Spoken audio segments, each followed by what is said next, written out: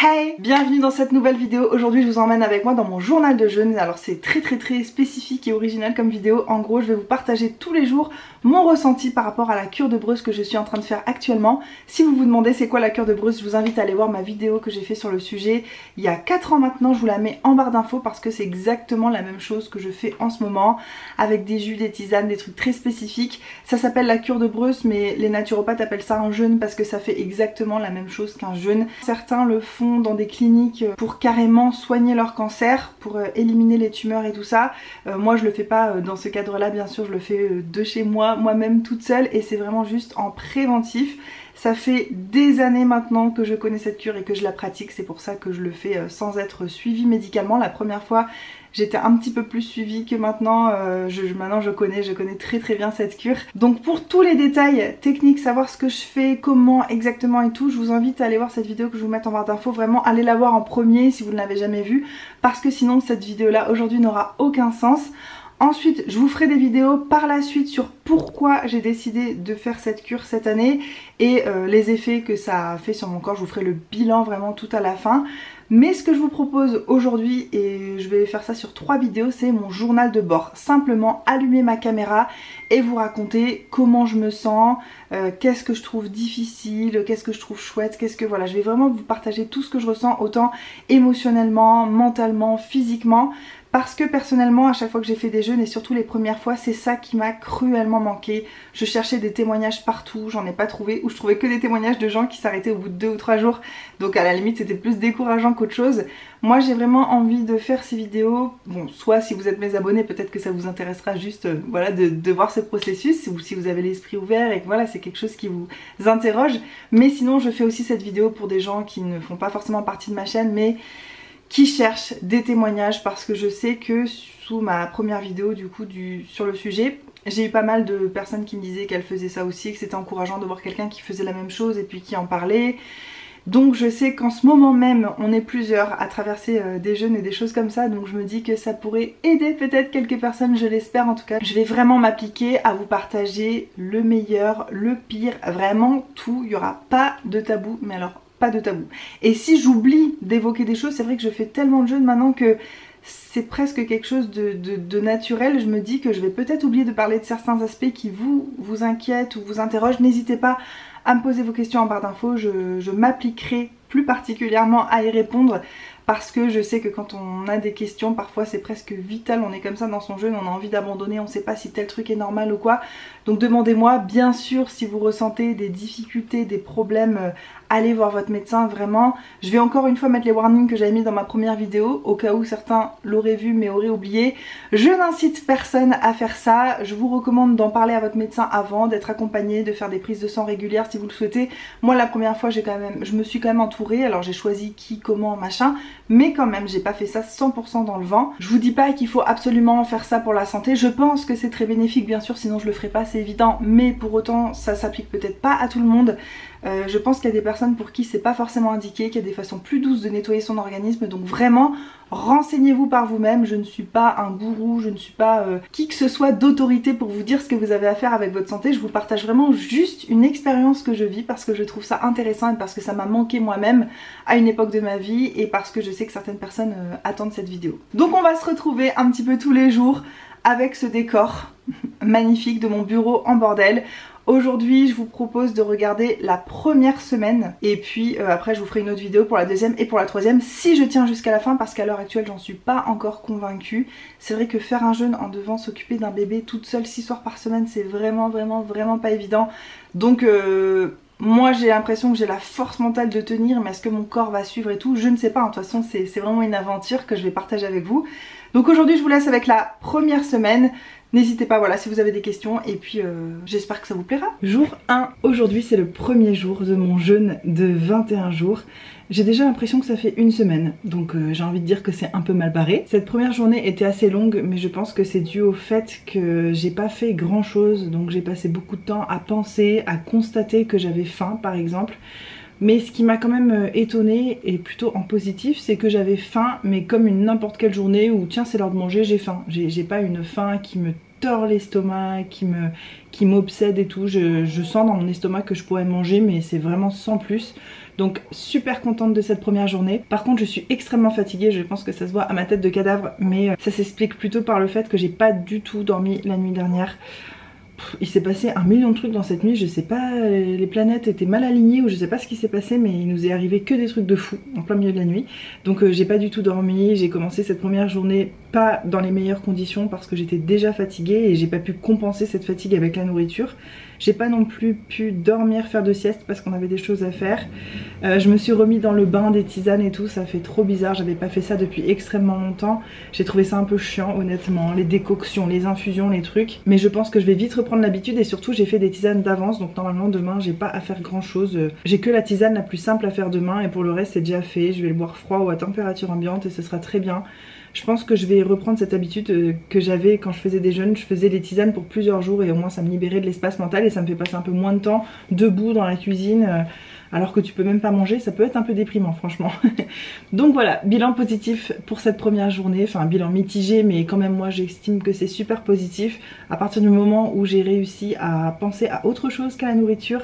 J'ai fait des trucs mais c'était pas des trucs incroyables, c'était à la maison donc euh, je pense qu'une journée où je me changerai vraiment les idées, ça se passera encore mieux. On se retrouve demain pour la suite. Jour 2, salut les amis, c'est le deuxième jour du jeûne aujourd'hui et il m'arrive la pire chose qui pourrait m'arriver dans ce contexte-là. Hein. Je précise, dans la vie, c'est rien. c'est même plutôt quelque chose de positif. Mais là, en contexte de jeûne, je peux vous dire que c'est horrible. C'est qu'aujourd'hui, c'est le premier jour de mes règles. Donc euh, très mal au ventre, euh, fatiguée, etc. Et ça c'est très compliqué à gérer en plus de tout le reste. Mais vous savez que je suis une personne positive, donc je vais vous dire ce qui se passe hyper bien aussi aujourd'hui et vraiment que je, auquel je ne m'attendais pas c'est que j'ai pas faim. Et ça, c'est très rare dans les premiers jours du jeûne. Souvent, t'as très très faim. En fait, le jeûne, on te dit toujours, les premiers jours, t'as super faim. Et après, ça a fini par se calmer. Et à la fin, t'as plus du tout faim. Moi, mon premier jeûne a duré 42 jours. Oui, je suis passée de ne jamais avoir fait une demi-journée à faire 42 jours d'un coup. Et ben, pour moi, c'était totalement faux. J'ai eu faim du... Ah Allô Et donc pendant ces 42 jours, j'ai eu faim du premier jour au dernier jour. Il n'y a pas une journée où j'ai eu pas faim. Et en plus, c'était extrêmement douloureux. C'était de la faim, genre, c'était dans mes tripes, c'était horrible. Ça s'est pas du tout calmé. J'ai eu faim, faim, faim, faim, faim. Par contre, le deuxième jeûne que j'ai fait, je crois que c'était un an après. Là, j'ai fait trois semaines.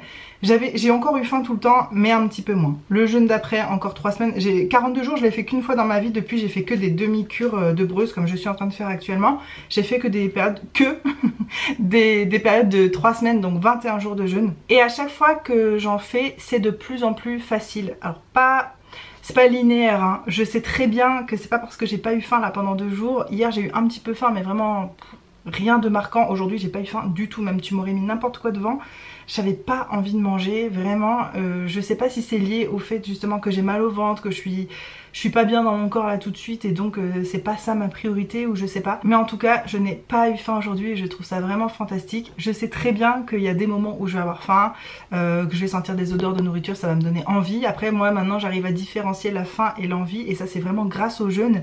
Et là je vois que ça fait très longtemps dans ma vie que j'ai pas fait de jeûne parce que j'arrive plus trop à différencier les envies et les besoins.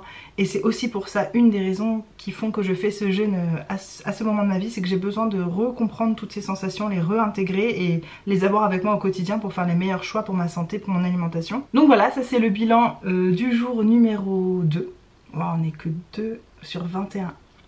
Ça va être long les gars, ça va être long. Ah et petite précision, hier soir j'ai dormi d'un sommeil que je n'avais pas eu depuis je pense des mois voire des années. J'ai dormi. En fait j'ai eu l'impression de glisser dans le sommeil, de tomber dans le sommeil euh, tel, euh, une personne en string dans un parc aquatique sur un toboggan qui a un jet d'eau intégré. Tu vois la façon dont tu glisses tu t'en rends même pas compte, tu sais pas à quelle heure tu t'es endormi, comment. T'as juste sombré, tu t'es laissé aller, j'ai dormi d'un sommeil réparateur profond, je me suis réveillée en pleine forme. Ça, très sincèrement, me réveiller en pleine forme, ça m'arrive de moins en moins dans la vie et c'est aussi pour ça que je fais un jeûne. Voilà, j'ai un sommeil qui n'est plus du tout réparateur. Cette nuit ça s'est très bien passé pour la première nuit du jeûne, j'avais peur, souvent on fait des cauchemars et tout parce que cette privation elle est quand même assez intense mais je pense que mon cerveau sait ce qui est en train de se passer dans mon corps. Mon corps le sait aussi, j'ai une certaine habitude, une certaine expérience avec ça. C'est ce qui me sauve je pense. Voilà, petit aparté fini, on se retrouve demain pour la suite. Jour 3, c'est le troisième jour de mon jeûne et c'est la première journée où je trouve ça difficile Toujours pas en termes de faim, mais les gars, vraiment, je, reste sur ma lignée d'hier. Je suis toujours choquée de pas avoir faim. Je comprends pas trop le phénomène. Ça va certainement venir. Enfin, je le sais que ça va venir à un moment ou à un autre. J'ai pas hâte, honnêtement, parce que je sais quand tu commences à avoir faim, ça devient obsessionnel. Là, vraiment, je ne pense pas à la bouffe. Euh, je pense à la nourriture pour mon fils ou je demande à Hugo qu'est-ce que tu vas manger ce midi, euh, voir s'il a prévu quelque chose et tout. Mais moi personnellement, je, n'y pense pas et ça c'est très très rare. Franchement je vais vous le dire, hein, quand je suis obsédée ça va arriver je sais. J'ai déjà euh, été obsédée mais du matin au soir par la nourriture à penser qu'à ça. Vraiment là sincèrement je n'y pense pas, c'est vraiment fou. Donc j'ai toujours pas faim, ça c'est positif. Par contre je me suis réveillée avec euh, une espèce de fatigue euh, très physique, pas du tout mentale. Mentalement je suis au top du top. Je suis tellement heureuse de faire ça pour ma santé, de m'être enfin lancée depuis le temps que je repousse ce moment mais dans, ma, dans mon physique je sens que ça va pas ouf, j'ai les jambes un peu flageolantes vous voyez et les bras pareil, j'arrive pas à soulever des trucs, je suis... j'ai pas de jus en fait dans les bras et les jambes. Et euh, ce qui me pose problème comme souvent dans, mes derniers, dans les derniers jeûnes que j'ai fait c'est que de, le jus de betterave là, le, jus que je suis censée boire dans cette cure, je ne le supporte plus. Je ne le supporte plus. Genre je pense que j'en ai trop bu, mon corps fait un rejet. Je pense que mon corps l'a associé dans sa tête à la privation, même si derrière c'est pour une meilleure santé et un corps euh, en meilleure forme. Je fais ça pour lui, en gros il pourrait être content de, ce jus, mais non je pense que c'est trop associé à la privation et il doit y avoir un jeu de l'esprit là-dedans aussi, mais vraiment je n'arrive plus à avaler. J'en ai dans la bouche, ça ne passe pas.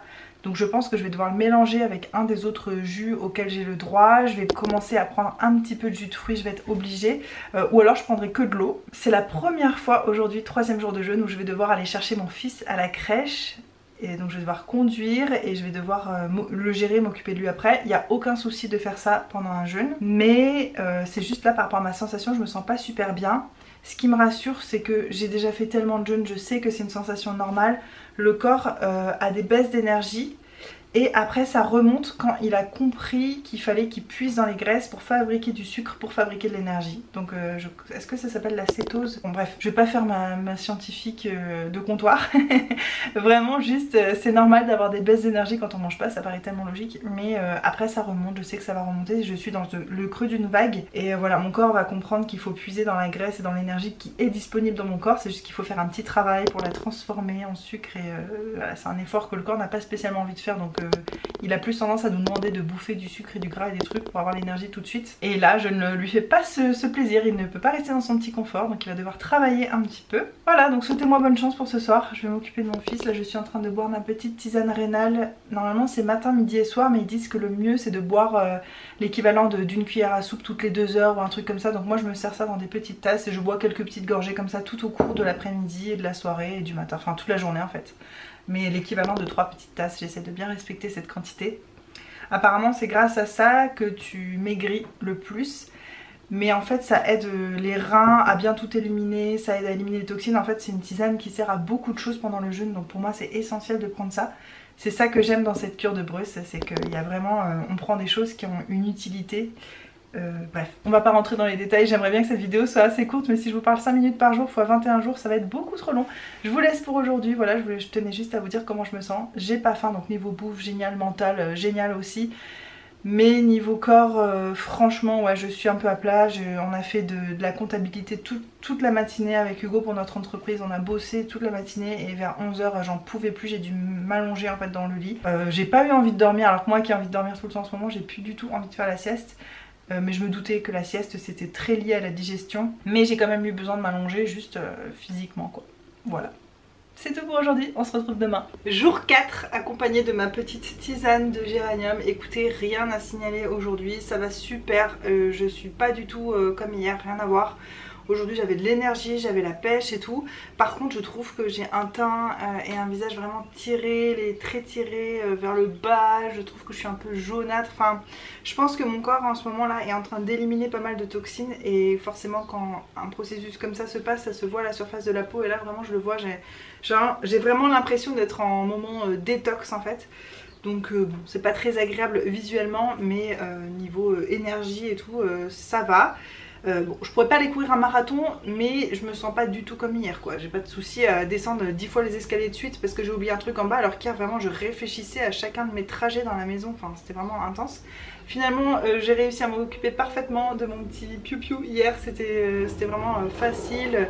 Il a été très facile déjà, bon déjà de base c'est un enfant facile mais vraiment hier ça s'est passé nickel donc ça me fait un stress de moins pour pouvoir vivre ce jeûne hyper sereinement, ne, pas me dire que parce que je suis fatiguée je vais pas réussir à m'occuper de mon enfant, euh, ça va, c'est nickel. C'est vrai que j'avais jamais fait de jeûne dans ce contexte euh, en étant maman, j'ai toujours fait des jeûnes avant, donc euh, quand t'as que toi à t'occuper c'est autre chose, c'est une autre dimension qu'il faut prendre en compte, mais là ça m'a vraiment rassurée et vraiment l'état d'esprit dans le jeûne c'est très important et là je suis super sereine pour la suite. Même si j'ai pas l'air sereine avec ce teint blanc et ce dessous des yeux de lapin mixomaté mais toujours pas faim. Toujours pas obsédée de la nourriture. Je devrais même pas déjà parler d'obsession, je suis même pas intéressée par la nourriture. Il y a un moment où je sais très bien hein, que ça va venir, mais où ça va m'intéresser, puis je vais commencer à regarder des recettes, et puis après ça va finir par m'obséder. Je sais que je vais passer par ces stades. Enfin, je serais, disons, très surprise si ça n'arrive pas, mais là, euh, vraiment, euh, non j'ai pas faim. franchement, de toute façon, l'intérêt de cette vidéo que vous êtes en train de regarder, c'est de partager euh, quelque chose de très sincère, de très brut. J'ai envie de pouvoir vous accompagner si vous faites ce cheminement vous aussi, donc il euh, n'y a aucun intérêt à, embellir la chose. Mais bon voilà, moi je n'ai pas faim mais il faut savoir que c'est mon jeûne, je sais même pas combien de jeûnes j'ai fait dans ma vie tellement j'en ai fait. Mon premier c'était en 2012 et depuis, donc ça fait 10 ans, depuis j'en ai fait énormément. Donc euh, bah, à chaque jeûne que je fais c'est plus facile que la fois d'avant. Donc forcément là j'en ai fait tellement que voilà. En tout cas pour l'instant ça l'est. On verra par la suite. Je doute pas que ça va me saouler. Ce qui va me saouler et qui me saoule déjà c'est l'aspect euh, social. De pas pouvoir aller euh, au resto, sortir. Bon bah pour finir sur un truc bien ringard à la vôtre. On se retrouve aujourd'hui pour le journal de bord. Aujourd'hui je vais vous parler du jour 5 et 6 parce qu'aujourd'hui on est le jour 7 mais j'étais pas chez moi pendant deux jours donc j'ai pas pu vous tourner cette petite séquence de vidéo avant. Donc le jour 5 a été pour moi à moitié le plus difficile et à moitié le mieux. Alors c'est complètement fou mais je me suis réveillée, j'étais écrasée, j'étais à plat, j'avais zéro énergie. Ça a duré jusqu'à 13h environ et après j'ai réalisé un truc c'est une erreur que je fais dans chacun de mes jeûnes et j'ai beau la faire, je la refais, j'apprends pas de mes erreurs, c'est dingue. Donc je vous le dis aujourd'hui comme ça, si vous êtes en train de faire un jeûne, ne faites pas cette même erreur ou si vous comptez le faire plus tard. Je ne bois pas assez de jus. Les jus auxquels j'ai le droit dans ma cure en fait, et eh ben j'en ai pas besoin, j'ai pas faim, j'en ressens pas l'envie. Donc euh, j'en bois très peu, vraiment le minimum juste pour bien fonctionner et pour que ça fasse les effets que c'est censé faire dans mon corps en gros. Mais en fait j'ai réalisé que comme à chaque fois qu'en fait à chaque fois que je me mets à boire beaucoup plus de jus bah, ça va beaucoup mieux et je pète le feu. Donc à 13h je me suis forcée, j'ai bu du jus, j'ai bu du jus même si j'en avais pas vraiment envie. J'ai essayé de faire tourner longtemps dans ma bouche avant d'avaler quand même et tout, faut pas boire vraiment cul sec. Et euh, l'après-midi, deux heures après, l'énergie est montée d'un coup, je suis allée à la plage, j'ai fait trop de trucs et le soir j'ai tenu jusqu'à minuit.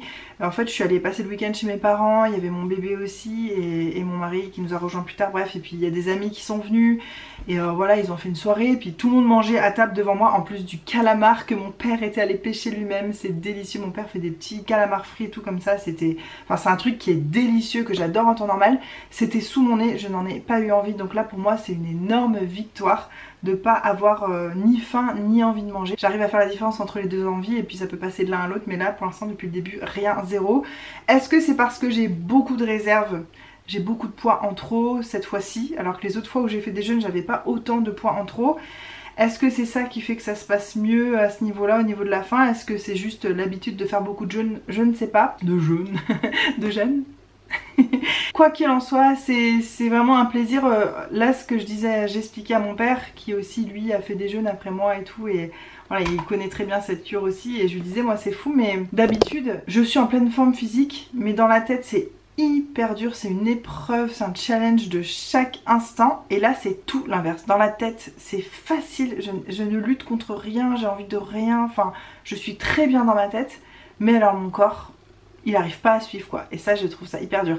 Donc je me suis mis à boire beaucoup plus de jus et tout ce qui fait que le jour 6 euh, c'est mieux passé mais j'ai dépensé beaucoup d'énergie le jour 6, j'ai fait de grandes marches, euh, la plage encore, nager, machin, le soir m'occuper de mon fils, ça a été un marathon, il s'est couché beaucoup plus tard que d'habitude, les balades en poussette dans mon quartier qui est en pente comme ça, enfin...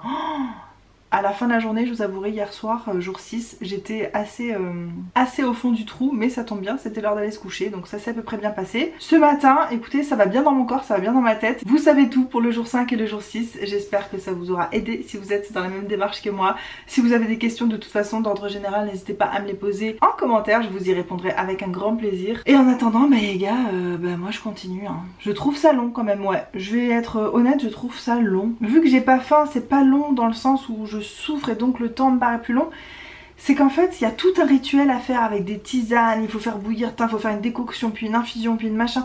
C'est un peu chiant tout cet aspect là, organisation, les tisanes, machin, même si en vrai je fais ça tous les trois jours donc c'est pas si pire mais ça me prend vraiment la tête, moi j'aime pas avoir une routine trop casée, trop calée avec des choses très précises précises à rentrer dans des cases. C'est un truc qui me correspond pas et donc là ça me force à être dans une espèce de discipline comme ça qui me saoule.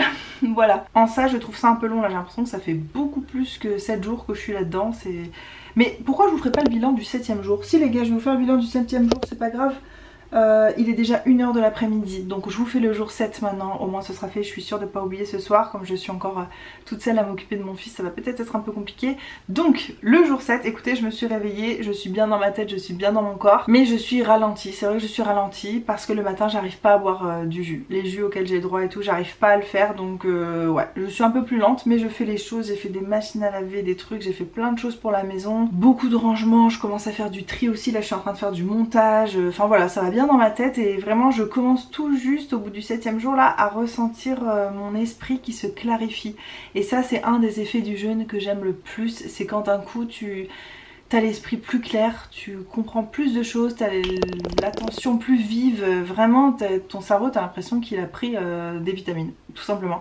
Et euh, je, à ce niveau là je suis super contente. Par contre bah, mon corps je me rends compte que je peux pas faire des trucs super vite, je peux pas marcher vite, enfin, en vrai je peux mais je sais derrière que je vais être fatiguée donc je pense que naturellement mon corps a compris ça et s'économise un petit peu.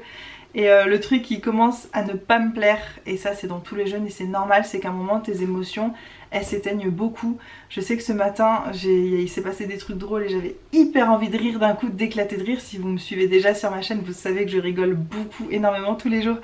Et là j'ai voulu rire et j'ai fait Et après j'étais essoufflée en fait. Et donc j'ai pas pu rire au point que ça m'a fait rire. Et donc c'est un peu frustrant. voilà, j'ai un petit peu moins d'émotions. Mais ce qui est chouette, c'est que ça éteint aussi un petit peu les émotions qui peuvent être négatives. Les frustrations, les angoisses, les... Euh, voilà, je me pose pas trop de questions, je me laisse porter. J'ai un peu l'impression d'être stone en fait. D'être sur un petit nuage où tout est un peu éteint, mais quelque part c'est hum, un petit cocon très reposant émotionnellement. Et pour ça, le jeûne, c'est quelque chose que j'apprécie. Donc même si c'est pas super positif sur le coup, je sais que dans l'ensemble ça me fait quand même du bien. Et ça remet plein de choses à niveau, à zéro. Et le fait d'avoir l'esprit plus clair fait que tu te poses moins de questions aussi sur ta vie, sur l'avenir, enfin moi je suis très comme ça de base aussi, c'est pour ça que c'est un effet qui me parle vraiment. Mais moi je me pose beaucoup de questions et j'ai toujours envie de changer de direction et de faire mille choses à la fois. Et là ça me pose et me dit tout vient à point, à qui c'est attendre, tout va se passer euh, comme ça doit se passer, il n'y a pas de stress à avoir, voilà ça. Je suis pas quelqu'un de stressé dans la vie du tout, mais alors là j'atteins un niveau euh, oh, plus plus plus dans la, dans la zénitude quoi. Voilà pour ces trois journées, je vais tout de suite aller boire du jus, essayer de me forcer à en boire un petit peu plus pour être plus en forme et finir ma journée sur... Euh, sur une émotion positive et avoir encore la force de faire des choses jusqu'au moment d'aller me coucher parce que en plus, parce que moi je peux rien faire à moitié bien sûr, j'ai décidé d'arrêter de faire la sieste euh, le midi. C'est quelque chose, je sais pas pourquoi j'ai pris l'habitude ces derniers temps, je pense que c'est parce que je mangeais beaucoup trop, beaucoup trop riche donc j'avais besoin de cette sieste. Et là petit à petit euh, j'ai envie de réduire ce temps de repos on va dire après le repas du midi même si là je mange pas bon après mes jus et tout pour euh, avoir plus de temps dans ma journée de faire plus de choses et pouvoir me coucher plus tôt le soir. Enfin, je suis en train de tout bouleverser mon rythme de vie. Je sais pas si c'est le bon moment pour le faire mais si j'en ressens l'envie maintenant pourquoi pas et puis euh, voilà le jeûne c'est aussi une occasion de remettre certaines choses à plat donc euh, je trouve ça assez chouette.